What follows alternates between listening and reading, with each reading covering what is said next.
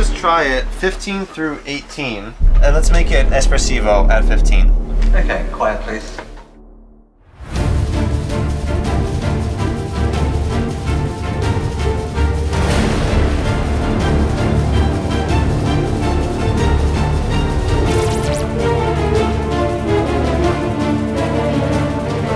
一緒にねあの仕事をしてくれるた今回スタッフがあの宮沢慎之介さんとジョーダンさん、えーお二人はあのハリウッドで活躍されてる方なのでいろんな映画の音楽とかドラマの TV プログラムの音楽やられててきっと今回の「レフトライブ」のような音楽っていうのはたくさん経験されてると思うんですけどあの割とスクエア・エニックスっていう会社は 明るいゲームとか多いので僕もこの仕事をする前にやってたゲームはあのなんて言うんでしょう。全然ジャンルが違うので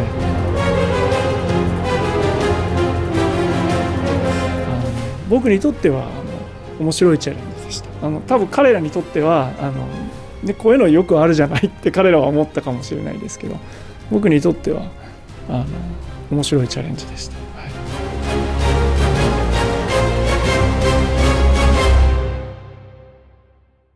That was great. Sounds great to me. Almost every cue, Iwasaki-san, our composer, he would send me uh, a little description with some adjectives, and he'd say, "This music needs to be really epic. This is our big battle scene, and it's heroic, it's epic, it's fun." And he said, "So if you see anything that you want to change, feel free." And so having that freedom was very interesting, and I hadn't had that on most projects of saying, "Yeah, if, if you think you should change what the violins are doing, feel free to." this is what we're going for and this is what I already have but uh, if you'd like to change it feel free which was which was fun great that was great let's just try something 初めに、まあ、彼の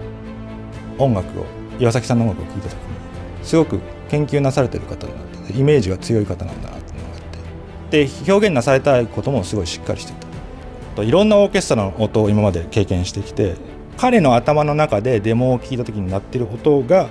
ロンドンで多分このハリウッドっぽいサウンドというか、まあ、そのエピックなサウンドを多分想像しているんだなと思ったんですよね。音楽がレフトライブの音楽はその悲しい音楽もあるんですけどやっぱり戦争を舞台にしたゲームでもあるので日本人向けのゲームというよりはあのグロワールドワイドな感じのゲームなのでそういうこうハリウッド映画的な大きな感じのオーケストラをあの表現したいっていうのが最初にあってで僕のデモをエンジニアとしてくれた宮沢さんに聞いてもらった時に宮沢さんに最初にあの今回のあの僕の音楽はあのアビーロードの音がすごく一番合うと思うって最初に言っていただいてスタジオの音もそのアビーロードって素晴らしいんですけど、うん、やっぱりロンドンサウンドって僕が考えるのはやっぱミュージシャンですね、まあ、とにかくうまいんですよ。とにかくやっぱパッショネットとにかくプロフェッショナリズムが高いというなぜかというとミュージシャンをじゃあ飛行機で連れてくるのかとか、えーじゃあスタジオがあるのかその全てのエッセンス。でアビロードも1900年代の初めからあるもう由緒正しいあのもう古いあのスタジオの入ると匂いがしてあのなんていうんですか木の匂いがしてカビの匂いがして。で人たちのやっぱり汗とかバイブとかそういうものっていうのは何ですか簡単にはリクリエイトできないんでそうじゃロンドンサウンドがあそこその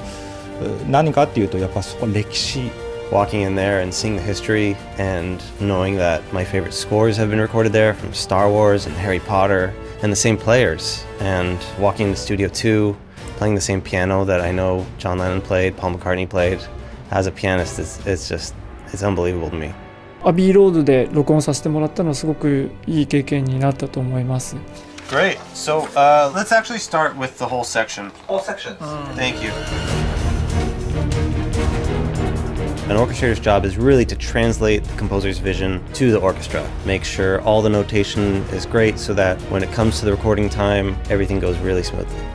プロセスにおいてやっぱり宮沢さんエンジニアさんなんですけれどあのコーディネートもしてくださったのであのそのコミュニケーションがすごく円滑にいくようにあのサポートしていただきました。 My suggestion is just maybe tame down the vibrato a little bit. あビブラートを少し落としたらどうですかね But if he's if he likes it as is, it's more. Well, let's try it. Sometimes music can be very hard to translate. Words about music. There aren't always direct translations. So there was always a little fear of either something from him or something from me being lost in translation. But uh, I think it all went great. The recording session went well, and there were no big surprises. So I think everything got translated okay. ロンドンとかの すごく素晴らしいミュージシャンと素晴らしいスタジオで楽しい音楽を作る行為ができたっていうのはすごく楽しい思い出だったかなっていうそういう楽しさとかなんかパッションみたいなものが、まあ、そういうふうに聴いてくれる人とかゲームやってくれる人に伝わればあこのプロジェクトやっててよかったし、まあ、こういう仕事やっててよかったのかなっていうふうには思いますね。3人でしかできなかったと思います。